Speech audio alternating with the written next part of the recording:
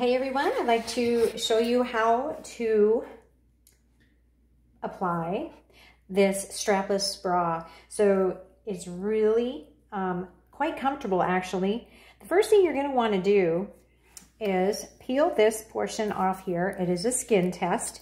So it's going to ensure, you're just gonna put that on kind of your sensitive areas maybe um, to just make sure that you're not gonna be allergic to the um, adhesions here, the adhesive parts. So this is a great little addition. I have used several strapless bras before and a lot of them haven't come with these uh, handy little skin tests there just to make sure you don't have a reaction to the adhesive uh, material that's here and also that's going to be in the um, on the inside of the cups. So a couple different things. You do want to peel these off. I always put them back on um, just to keep the adhesion, uh, the integrity of it good and um, sticky. So whenever you're not using it, I just, I keep these separate and I just always just put them back on just to keep them clean. So peel all of these off. And I'm gonna show you a trick here. Um, this, what you were gonna want to do, because these pieces here that go underneath your arm and around to your back. Um, they are extremely sticky. So for me, I put these on first. And then once these are on and, and secure where the position that you want them to be, then you can adjust and um, go ahead and put this underneath the cup there so that you kind of get that lift. The So again, you can see where I have, you can see how this is kind of a, a little bit uh, bubbled because I have not been as careful as I should and I have folded it in on itself and I've had to peel it apart.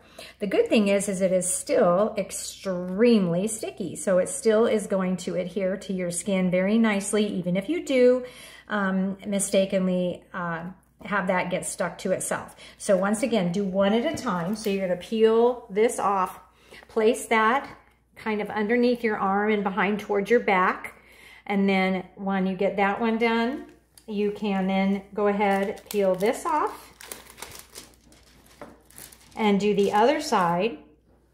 And then now, once this is attached on your back, on the on underneath your back and your, or excuse me, underneath your arms, and it's your kind of around your back, then you can go ahead and adjust and place this portion where you want it to be. See how this folds in and it sticks to the material or it sticks to itself. So you want to be extra careful with that.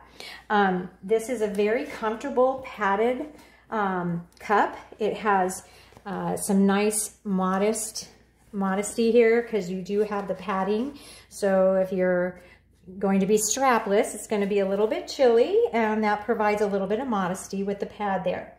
For a little extra uh, security, if you want this little strap here, it's like a halter, but it's clear and it also is adjustable here with this.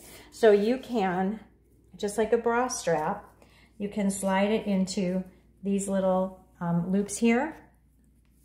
Let me get that. So that you can put it up and around your neck and it'll hold it in place just for a little extra added security measure here. So not only do you have the strapless here, um, but if, like I said, if you want to have a strap, it's clear probably going to be uh, very inconspicuous. So you don't need it, but if you're doing maybe some dancing around or at a party or a wedding or something and you just want a little added security, that's going to do it for you. So really great product here. Just uh, be sure and order the size according to the bra you wear and you'll be good to go. I hope the review is helpful. Thanks for watching. Take good care.